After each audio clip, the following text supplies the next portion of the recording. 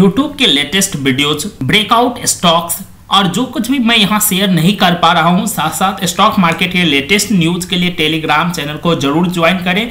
Link video के description में है। साथ ही साथ आप टेलीग्राम पे स्टॉक बाज़ार ओरिजिनल सर्च करें और इस तरह का कुछ आइकन दिखेगा, उसे ज्वाइन कर ले। नमस्कार दोस्तों, आपका बहुत बहुत स्वागत है आपके अपने चैनल स्टॉक्स बाज़ार में। इस वीडियो में बात करेंगे एक बेहतरीन शेयर जिसमें आप इन्वेस्ट कर सकते हैं किसी भी गिरावट में। काफ़ी बेहतरीन, काफ़ी फंडामेंटल सॉलिड शेयर्स है, लेकिन बहुत ही छोटे शेयर्स हैं। मतलब एक स्मॉल कैप शेयर्स है और ये है A V T natural product limited काफ़ी बेहतरीन शेयर है। अगर करेंट प्राइस की बात करें 100 के ऊपर है, जिसको हम टेक्निकल चार्ट पर डिस्कस भी करेंगे।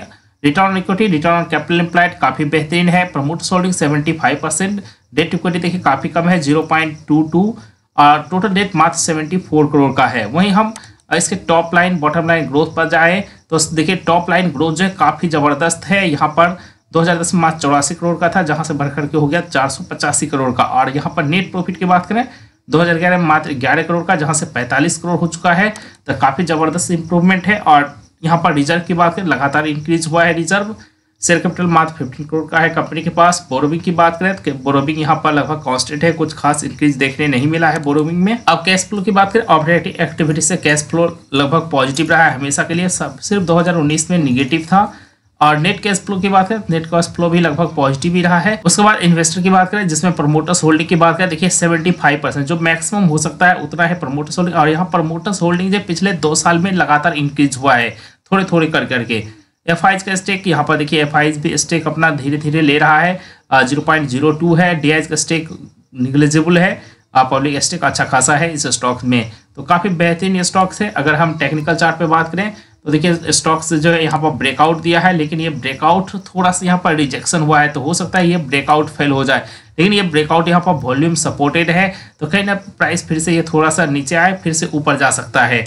लेकिन ब्रेकआउट पे यहाँ पर जो हमें चार्ट देखने मिल रहा है कि थोड़ा सा यहाँ पर जो कैंडल है, वो ऊपर से रिजेक्ट हुआ है तो कहीं ना कहीं बाइंग प्रेशर जो उतना स्ट्रॉन्ग नहीं है।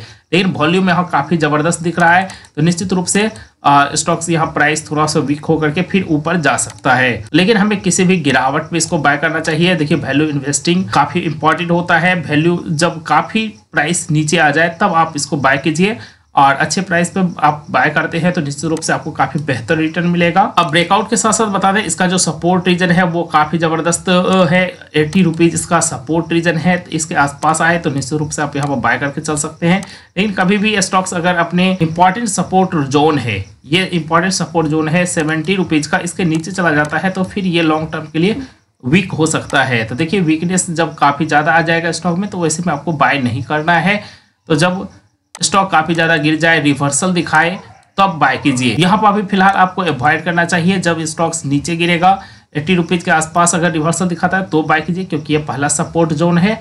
और अगर ये सेवेंटी रुपीज़ के नीचे चला जाता है तो फिर इस स्टॉक्स को आप अवॉइड कर सकते हैं, क्योंकि तब ये बहुत ज़्यादा वीक हो जाएगा। जब बहुत ज़्यादा जब स्टॉक वीक हो जाए तो फिर उसके रिवर्सल में काफ़ी टाइम लगता है। तो जब गिरावट के बाद रिवर्सल दिखे एट्टी रुपीज़ के आसपास या उसके ऊपर तो फिर आप इसको बाय करके चल सकते हैं। तो उम्मीद करते हैं वीडियो आपके लिए हेल्पफुल लगा होगा। तो वीडियो को लाइक कीजिएगा शेयर कीजिएगा और ऐसे ही बेहतरीन इन्फॉर्मेटिव वीडियो के लिए चैनल को सब्सक्राइब कर लीजिएगा।